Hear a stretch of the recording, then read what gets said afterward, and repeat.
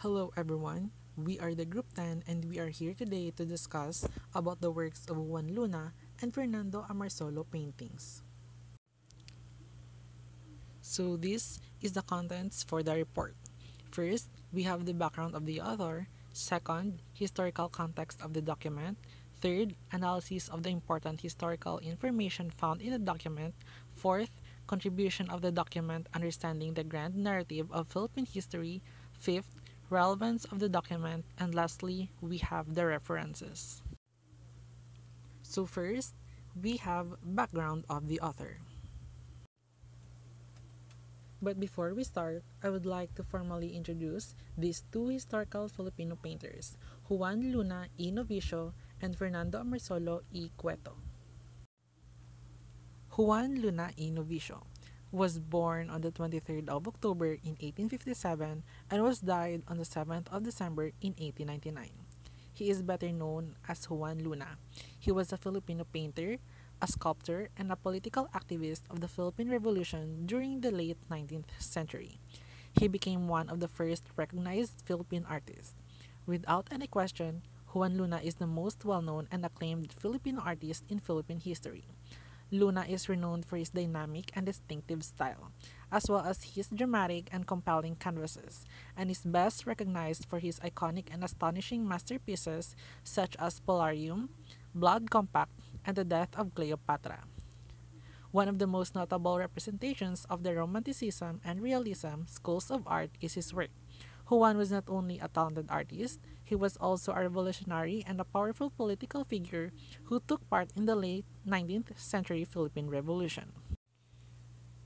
Fernando Amorsolo y Cueto was born on the 30th of May in 1892 and died on the 26th of April in 1972.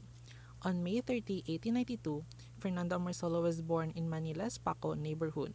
At age 13, he began working as an apprentice for his mother's first cousin, the renowned Filipino artist Fabian de la Rosa. Amorsolo began his education in 1909 at the Liceo de Manila before enrolling in the University of the Philippines Fine Arts Program, from which he graduated, graduated in 1914. After working three years as a commercial artist and part-time instructor at the university, he studied at the Escuela de San Fernando in Madrid. For seven months, he sketched at the museums and on the streets of Madrid, experimenting with the use of light and color. That winter, he went to New York and discovered the works of the post-war Impressionist and Cubist, who became the major influence on his works. On his return to Manila, he set up his own studio. Historical context of the document Juan Luna y Novicio In 1881, Luna's paintings were shown for the first time abroad at an annual exhibition in Madrid called Exposición Nacional de Bellas Artes. His La Muerte de Cleopatra took a silver medal and established his artistic career. In 1884, at the same exposition, he displayed Spoliarium, which won three gold medals and garnered him critical praise.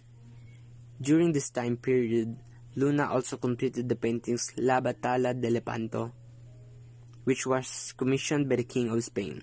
He moved to Paris in 1885 and established a studio where he painted El Pacto de Sangre. In 1887, he returned to Madrid and won high acclaim for his paintings La Batalla de Lepanto and Rendición de Granada. Fernando Amorsolo y Cueto Amorsolo was known as the painter of Philippines sunlight because his illuminated landscapes displayed the magnificence of the country's sunshine and portrayed traditional Filipino customs, culture, fiestas, and ordinary occupations such as rice harvesting and mango picking. His pastoral works presented an imagined sense of nationhood in counterpoint to American colonial rule, and were important to the formation of Filipino national identity. Amorsolo's use of chiaroscuroan, the Italian term for a backlighting technique meaning light-dark, that involves the interplay of light and dark, became his artistic trademark as well as his greatest contribution to Philippine painting. In a typical Amorsolo painting, figures are outlined against a characteristic glow. and intense light on one part of the canvas highlights nearby details. Only one painting by Amorsolo is believed to include rain, as sunlight was his constant element. Art historian Eric Torres describes Amorsolo's sunlight paintings as overflowing with sweetness and optimism. Others consider his countryside paintings to be the true reflection of the Filipino soul. Some historical works of Juan Luna y Novicio. First, El Spoliarium. Second, España Guiando y Filipinas. Third, Interior d'un Cafe. Some historical works of Fernando Amorsolo y Cueto. First, Fruit Gatherer. Second, Fruit Pickers Harvesting the Mango Tree. Third, Tinikling in Barrio. Fourth, Making of the Philippine Flag. Fifth, Nude. Sixth, Palay Maiden. Seventh, Portrait of Don T. Yuchengco. Eighth, Sunday Morning Going to Town. Analysis of the important historical information found in the document. Works of Juan Luna y Novicio. Number 1. El Spoliarium. Juan Luna's Spoliarium, one of the most well-known paintings in the nation, won a first-class medal at the Madrid Exposition of Fine Arts in 1884, making it a historical triumph for Luna and the Philippines as a whole. The life-sized sculpture depicts the Spoliarium, the name given to the Roman Colosseum basement where defeated gladiators were dumped after battle. The central image shows two dead gladiators being dragged by Romans. Scavengers look at the dead man's property on the left while a Roman stands next to them and raises a fist in anger. On the right, a woman laments the loss of a loved one. While in a Swirl of Smoke, an elderly guy looks for a body. The portrayal of Roman brutality in the artwork has been read as an, as an analogy for the Philippines, condition under Spanish control. Spoliarium was the kind of painting that lent itself to the patriotic needs of the Filipinos and on which Rizal and others projected a nationalistic symbolism that helped rouse the Filipinos to rise up against the political oppression of their Spanish colonizers. In Rizal's words, Spoliarium was a symbol of our social, moral, and political life humanity unredeemed, reason and aspiration in open fight with prejudice, fanaticism, and injustice. Second, España y Filipinas, Spain and Philippines. In the picture España y Filipinas, two female figures stand in for the colonial ties between Spain and the Philippines. Juan Luna was a skilled academic painter, and this work demonstrates his command of 19th century aesthetic principles. España y Filipinas is an allegorical painting, using two female figures to represent the colonial relationship between Spain and the Philippines. Juan Luna was an accomplished academic painter, and this painting shows his mastery of 19th century visual conventions. To depict the march to, to progress sought by Filipino reformists in the 1880s, Luna used a tall, narrow canvas. This format, this format helps, uh, helps focus on the grand steps strewn with palms of victory and flowers, while also emphasizing the regal pose of Mother Spain and Daughter Philippines looking upward to the sky to signify bo- both their hope and entente cordiale. Spain holds her ward on the hips as if guiding her on their ascent. Third, Interior d'un Cafe. Interior d'un Cafe or Inside a Cafe painting is also known as the Parisian Life, even titled in some books as The Maid and Un Coquette, or literally someone who is one step lower than prostitutes, painted by Juan Luna. He is known to use prostitutes as models in his painting sessions for a very obvious reason. They are paid cheap. In 1904, at the World Fair's St. Louis Exposition in the United States, this painting won silver medal. With the third interpretation, Luna also exposed the Philippines in a disturbed state during the Spanish Revolution in 1892 through the uncomfortable position and about to cry face of the woman. The three gentlemen in the left corner were identified as the three Filipino heroes, Dr. Jose Rizal, Juan Luna, and Ariston Bautista discussing the state of the country being under stress. The coat and hat at the couch symbolizes Western lifestyle, particularly identifying the people of Spain, while the levels of beers in the table were also interpreted on how the Spaniards take advantage of the country, and the newspaper pointing the back of the woman tells how the Philippines was inspired by the French Revolution. Next, we have the works of Fernando Amorsolo y Cueto. First, Fruit Gatherer. The women I paint should have a rounded face, not of the oval type often presented to us in newspapers and magazine illustrations. The eyes should be exceptionally lively, not the dreamy, sleepy type that characterizes the Mongolian. The nose should be of the blonde form but firm and strongly marked. So the ideal of Filipino beauty should not necessarily be white complexioned, nor of the dark brown color of the typical Malayan, but of the clear skin or fresh colored type girl type which we often witness when we met a blushing girl. This was Fernando Amorsolo's message towards the painting.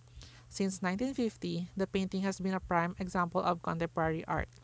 In his painting Fruit Gatherer, Fernando Amorsolo shows a woman sitting beneath a bamboo tree with a winnowing basket full of fresh fruits.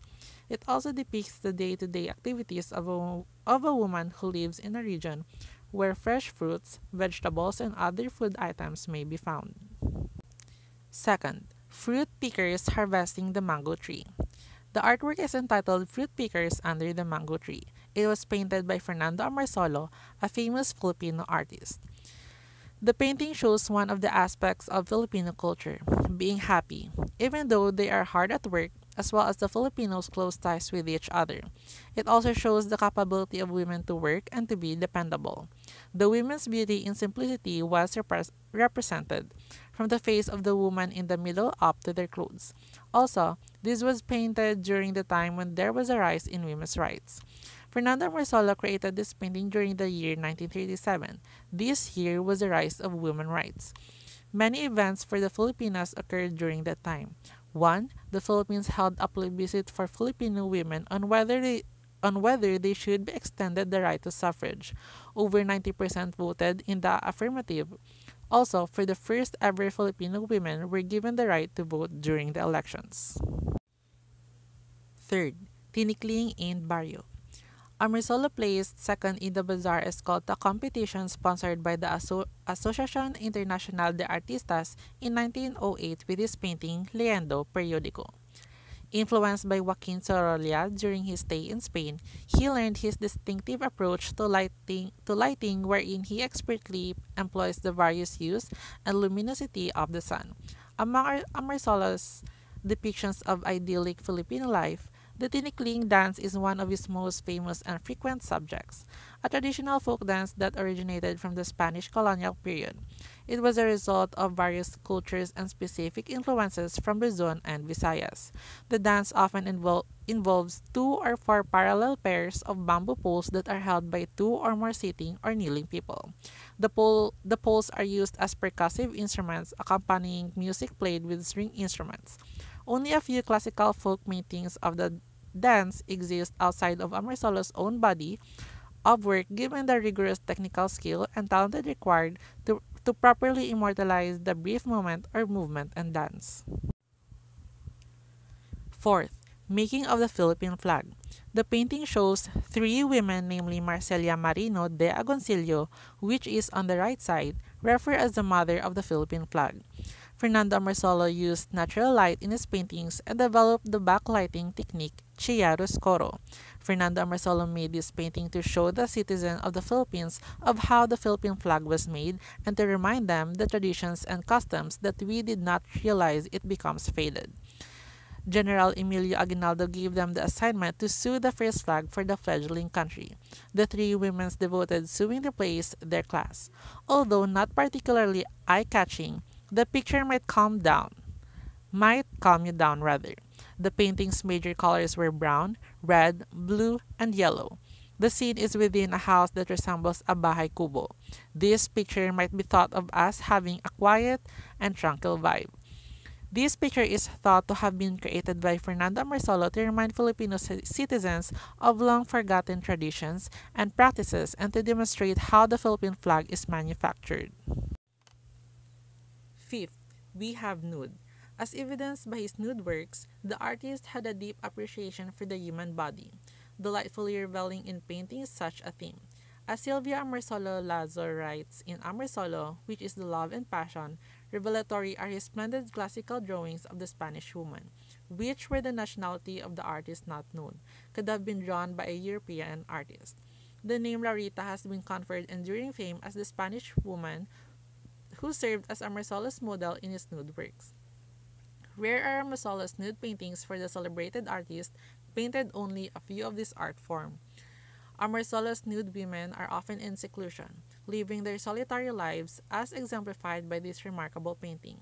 The female body in its bare state becomes the beauty ideal for understanding the in- intricacies of the human form. Amorsolo also exhibits his characteristic as a true Filipino gentleman painter. The woman gazes from afar, confidently flaunting her posterior, averting her eyes, and turning her back from the viewer even in the privacy and the intimate act of caressing oneself. Amorsolo's nudes still convey an inherently alluring yet dignified modesty. 6. Palay Maiden The 1920 oil painting Palay Maiden shows a portrait of a woman carrying grain, a crop that is widely farmed in the nation. Another worker is in the field to the right of the artwork, and the farmland can be seen in the backdrop. The picture itself is a figurative since it shows how crops, specifically grain, are harvested in the Philippines. As was previous, previously said, the artwork shows farming in the Philippines, including the cultivation and harvesting of grain. The woman in the image seems content and is thrilled with the harvest that they are gathering. There is obviously still a lot of grain that has to be gathered based on the field behind the woman and the other worker in the field. The painting can reflect a variety of aspects of Filipino culture and life. It may be taken as the artist's interpretation of beauty. People might interpret and prefer things in different ways. Considered to be beautiful, and Amorsolo explains what he means by beauty. The simplicity of farming and the attraction of earlier times can be expressed via art. There are many comforts in our contemporary industrialized environment, but there are also numerous problems. Some people may have nightmares about how easy it was it was to grow up in the country, and this artwork can give them a glimpse of those days. Number 7. Portrait of Don Teochenko. Yuchengco Museum joins the Amorsolo retrospective with an exhibit titled Mukhang that draws inspiration from portraits of Enrique and Maria Yuchengco in the collection and fits with the fundamental thematic thrust of the museum to highlight the culture, stories, and expressions of the Filipino Chinese, also known as Chinoys, people of Chinese ancestry but raised in the Philippines. The public is now able to see several of these Amorsolo photographs of Chinoy personalities for the first time. During the 1930s Commonwealth era, Fernando Amorsolo rose to prominence as a renowned painter. Amorsolo was a well-known painter of a variety of subjects in addition to portraiture. High-ranking government officials, wealthy and powerful businesses, and their families preferred him as an artist. Amorsolo also painted portraits of the Chinoys or Chinese-born people having enduring ties to the Filipino people and to the country's soil. Amorsolo caught a glimpse of their historically developing identity at a period when they were already at ease, successfully assimilated, and confident of their place in society. Number 8. Sunday Morning Going to Town Amorsolo depicts a romanticized image of rural life in the Philippines in one of his most recognizable themes. A family leaves their hut together and travels to an unknown location. They are left to cover themselves with either the available natural shade or, in the instance of a woman in the middle, a pink parasol as the early sun pours light on them. Even the cocks seek cover from the sweltering sun by hiding behind a stack of hay in a nearby corner. The guys enlist a Carabao's assistance to transport the season's harvest as the journey ahead is not without its challenges. They are carrying homemade sacks on their backs. The artist is unafraid of the lowly realities of the margins. The rising sun sheds lights on the route ahead. The bright color of the parcel breaks up the kaleidoscope of greens and yellows. It appears as though Amorsolo captured the jubilantly resolute spirit of the setting and its inhabitants. Fourth, contribution of the document in understanding the grand narrative of Philippine history. Juan Luna y Novicio. Juan Luna is one of the prominent Filipino artists in the Philippines with his arts. He largely regarded as the Philippines' best and most influential painter, with paintings on display in several of the country's most prominent museums, including the National Museum and the Lo- Lopez Museum. Juan was not just an artist. He was a revolutionary and influential political activist who was who was an who was an active participant in the Philippine Revolution that took place in the late 19th century. In contrast to idealism, which was accompanied by justice, fanaticism, and instances of prejudice, his spoliarium had created a clear image and persona of an open confrontation between reason and idealism. The historical spoliarium is Juan Luna's most significant accomplish- accomplishment. Of this amazing picture, the sociological circumstances in the Philippines are brilliantly represented. Fernando Amorsolo y Cueto Fernando Amorsolo is one of the most prominent Filipino painters to influence the nation even after his death.